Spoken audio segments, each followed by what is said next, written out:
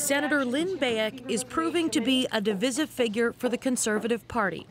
A day after Tory leaders removed her from the Aboriginal People's Committee, her colleagues, like Conservative Senator Ghislain Maltais, openly expressed disappointment in the decision. Every, every member to the caucus support you. Thank you. Thanks.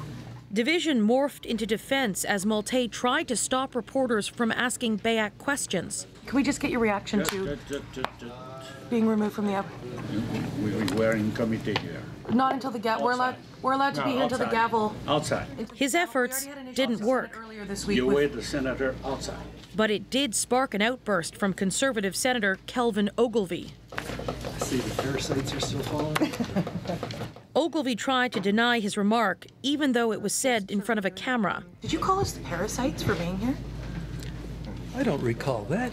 Okay. Did you hear that? We did. Did, did you call? Did you call us parasites for being here? I, I have no comment on that whatsoever. Okay. So what do you think? What about kind of what kind of silliness is this? The staunch defense comes after Beyak was disciplined for her ongoing comments about residential schools, where she criticized the lack of attention paid to positive student experiences.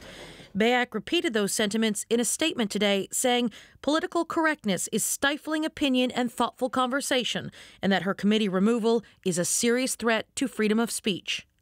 These exchanges come as the Senate is trying to improve its image. But between this and the Don Meredith ethics investigation, the upper chamber is having a tough time changing the channel. Katie Simpson, CBC News, Ottawa.